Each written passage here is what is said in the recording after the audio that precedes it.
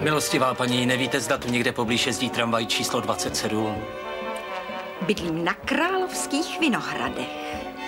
V těchto končinách jsem poprvé. Děkuju.